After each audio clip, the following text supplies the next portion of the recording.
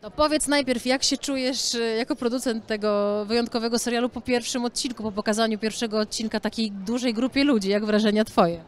No przede wszystkim duma.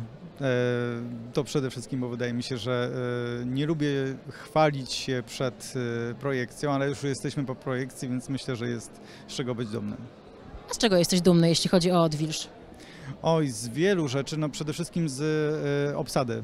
Przede wszystkim z Kasi Wajdy, głównej bohaterki, e, głównej aktorki odtwarzającej główną rolę głównej bohaterki, e, bo to nowa twarz, nowa twarz przede wszystkim w pierwszoplanowej roli, e, no i wypada znakomicie, w związku z tym dla nas to taki skarb, którym należy się chwalić.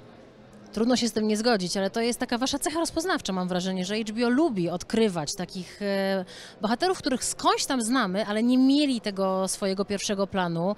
To taki chyba stały element. No staramy się ryzykować i staramy się nie bać ryzykować. E, Tutaj to było jakiegoś rodzaju ryzyko, ale tylko i wyłącznie do zdjęć próbnych, ponieważ na zdjęciach próbnych okazało się, że to jest absolutnie coś, co chcemy, e, w co, w co chcemy celować, więc, więc padło na Kasię, ale no nie tylko Kasię, bo e, Bartek Kotrzedow e, w bardzo dużej, rozbudowanej roli partnera e, Katarzyny Zawiei, e, ale to będzie taka postać, którą jestem pewien, że będzie się kochać po obejrzeniu wszystkich e, sześciu odcinków. Co było w Odwilży takim wyzwaniem? E, Nie wiem, właśnie brodzenie w wodzie, czy co was tak pogodowo i organizacyjnie najbardziej roz, rozkładało?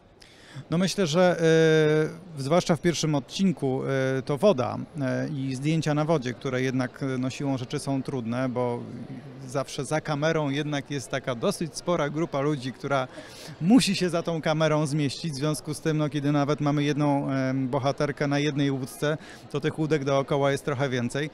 A umówmy się, no, realizacja zdjęć na wodzie w styczniu e, czy późnym, późnym listopadzie, no nie jest to taka najbardziej wymarzona pora do przebywania e, kilka czy kilkanaście godzin na wodzie.